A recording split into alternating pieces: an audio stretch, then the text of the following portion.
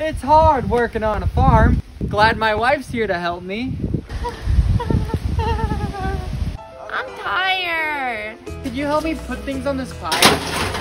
Why does the male goat control the female Can you goat? help me And why do we have to listen to the try to male? make this pile smaller?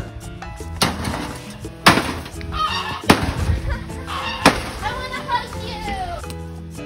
I'm sleepy. Can you bring me the papaya seeds, please? Ah, There's a rock in my rake. I need you to help me get the rock out of my rake. Look at this young I want to plant a papaya tree.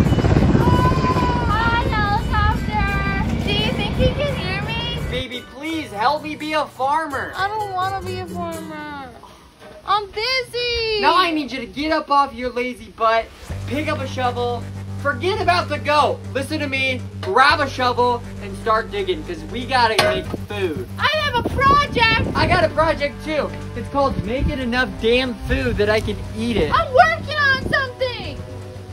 And you know what? This is what that looks like. Damn it! Help me make food. Ah! Baby, what are you thinking about all day? We don't have to grow on the farm is not the answer.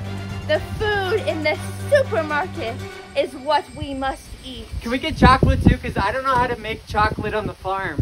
And I love chocolate.